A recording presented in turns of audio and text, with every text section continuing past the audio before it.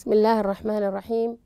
والحمد لله رب العالمين والصلاة والسلام على أشرف الأنبياء والمرسلين نبينا محمد صلى الله عليه وسلم.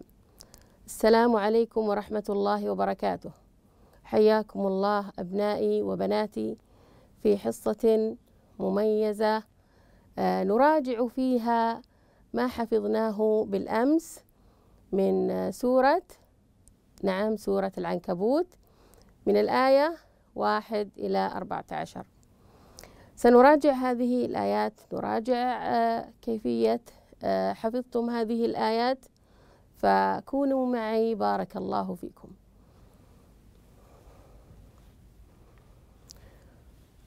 أهدافنا طبعا لابد من التأدب دائما بآداب القرآن.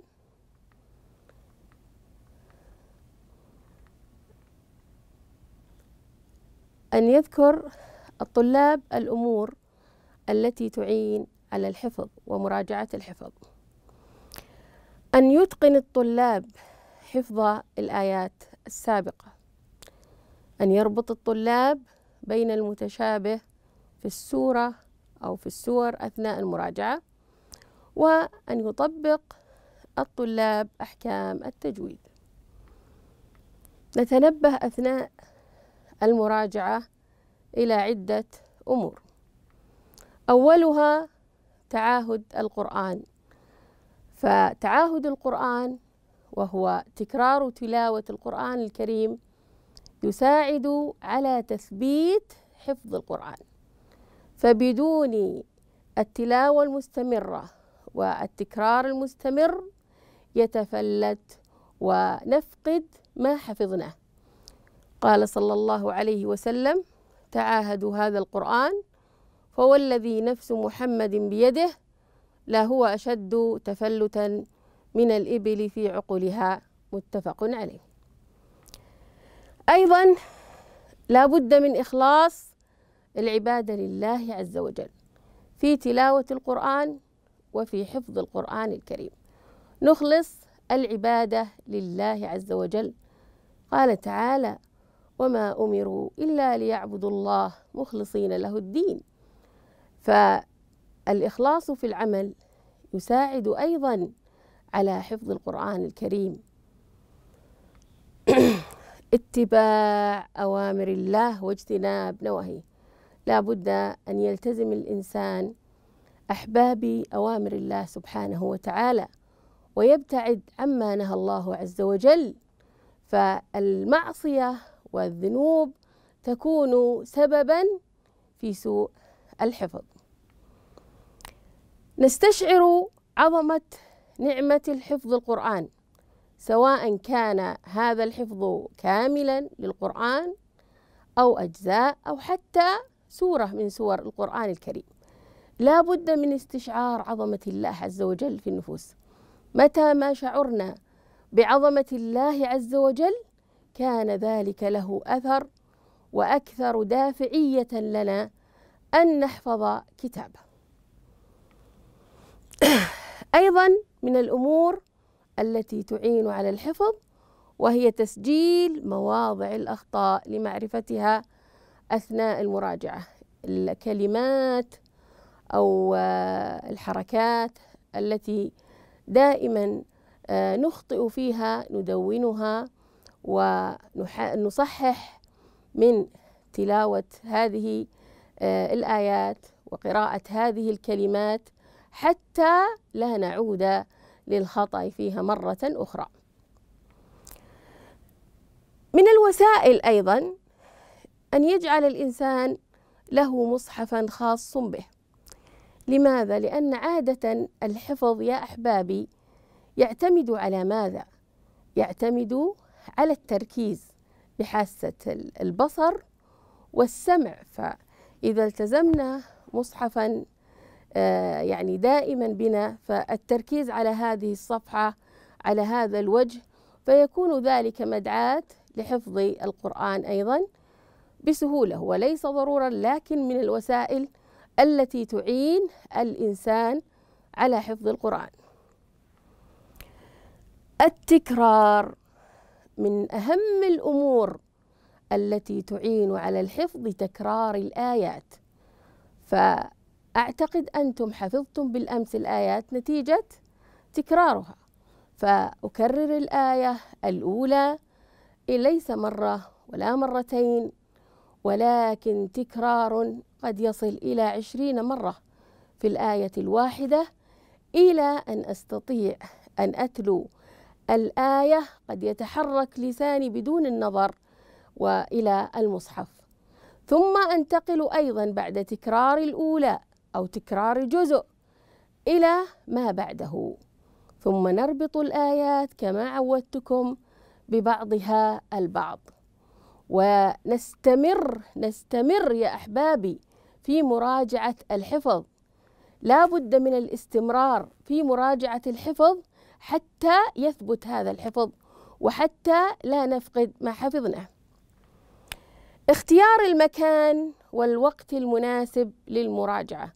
هذا مهم جدا أن الإنسان يختار المكان البعيد عن الإزعاج وعن الضوضاء حتى يستطيع التركيز في حفظ القرآن وكذلك أيضا يستطيع أن يسمع القرآن وينصت لهذا آه، القرآن.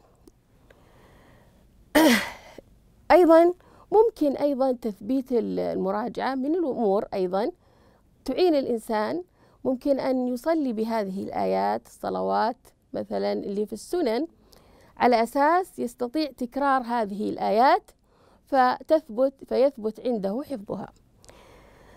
أن نربط بين المتشابه من الآيات. تعلمون يا أحبابي أن القرآن الكريم فيه آيات عظيمة وكثيرة. فأحيانا تشتبه الآية من سورة إلى سورة عند الطالب. فلا بد أن ينتبه لهذه الآيات المتشابهات أو حتى لهذه الكلمات.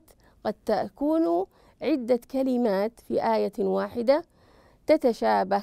فننتبه أيضا لذلك لأن هذا يساعدنا في إتقان الحفظ. استخدام الجدول دائما نستخدم جدول ونحدد في هذا الجدول المقدار الذي سنحفظه. فهذا يكون آه، بالنسبة لنا يعني أكثر تنظيما ونتابع أنفسنا من خلال هذا الجدول. هذه يا أحبابي الأمور التي أحببت أن أذكركم بها والتي تعين على الحفظ. لأنه قد يشتكي البعض لا أستطيع الحفظ فليبحث من خلال هذه الأمور. هل هو يطبق مثل هذه الأمور؟ أو أين الخلل إذا كان عنده مثلا عدم آه، التركيز؟ أيضا آه، جدول التصويب كما ذكرت لكم ونستخدمه دائما احرصوا عليه. يا أحبابي بالأمس تتذكرون معي هذه الكلمتين التي وضعتها على سبيل المثال للتمييز بين الرسم العثماني والرسم الإملائي كجاهد والصالحات. فنضبط هذه العلامات نضبط مثل ذلك فهذا أيضا يساعد على الجودة في حفظ آيات الله. هذه الآيات التي تناولناها في السابق وكانت آه، بداية آه، بدايتها من طبعا سورة العنكبوت. لاحظوا مثلا لو آه، تأملنا الحروف المقطعة كم مرة مرت علينا ألف لام ميم؟ عدة مرات في سور. ألف لام ميم في سورة البقرة في سورة آل عمران في سورة الروم في كثير من السور تكررت نفس هذه الحروف المقطعة. آه ننتبه دائما مثلا هنا هذه الآية. الآية آه هنا في سورة العنكبوت. أم حسب الذين يعملون السيئات؟ آه طبعا في سورة الأحقاف تكررت مثل هذه لكن الاختلاف أين؟ في هنا اجترحوا. اجترحوا السيئات. فننتبه هي كلمة فقد نخطئ وأنا آه، أرغب في تسميع آه، هذه السورة. فقد أضع الآية مكان الآية. فنضبط المتشابه من هذه الآيات. آه، طبعا هذه أنا أرغب الآن منكم أن أسمع منكم سماعا يعني حفظا. هذه الآيات الآن من واحد إلى ستة. من يسمع لي هذه الآيات؟ بما أنكم حفظتوها في السابق. نعم. نعم. ممتاز ممتاز. بارك الله فيك. نعم. بارك الله فيك على إتقان الحفظ. نهتم أيضا بالأحكام التجويدية فهي تساعد على تحسين التلاوة والحفظ. ولا ننسى أن نرتل القرآن ورتل القرآن ترتيلا حتى ولو كان حفظا. فلا أرتله في التلاوة وأفتقد هذا الترتيل في الحفظ. ففي كلا الحالتين لا بد من ترتيل القرآن.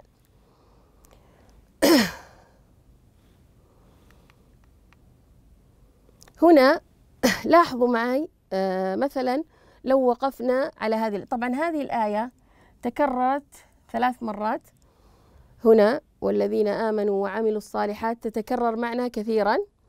لاحظوا هنا مثلا في الآية سبعة وهنا في الآية آه تسعة. والذين آمنوا وعملوا الصالحات لنكفرن عنهم. لاحظوا الثانية وأنتم تحفظون اضبطوا. والذين آمنوا وعملوا الصالحات لندخلنهم. انتبهتوا إلى التشابه في آه الآيات. هنا أيضا لاحظوا الآية هنا اللي تكلمنا عنها بالأمس.